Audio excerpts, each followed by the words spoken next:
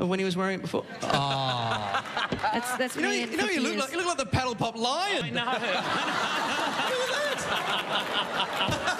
If you want to see Shorty D again at our grand final next Tuesday, then you can vote by SMS.